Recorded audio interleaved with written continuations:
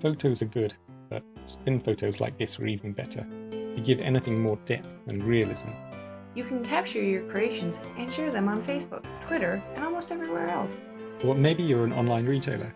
Customers will be able to see your product better and be more confident purchasing. It's easy to do. Put your object on the turntable.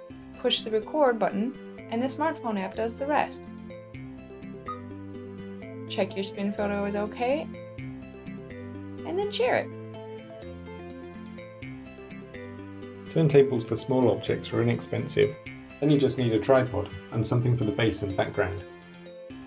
Maybe you're making a presentation at work. You can embed spin shots in your PowerPoint presentations too. In fact, there are advanced options that will help you white out the background, adjust the speed and acceleration.